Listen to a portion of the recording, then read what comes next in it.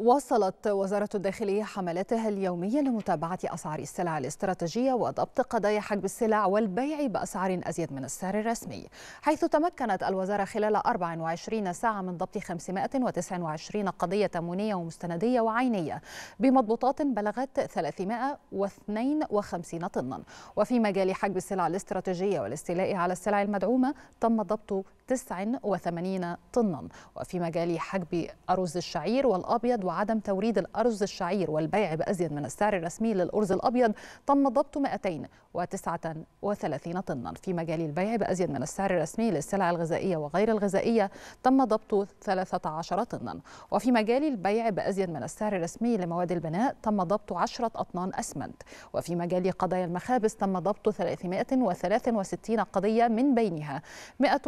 137 قضية خبز ناقص الوزن و105 قضايا خبز غير مطابق للمواصفات.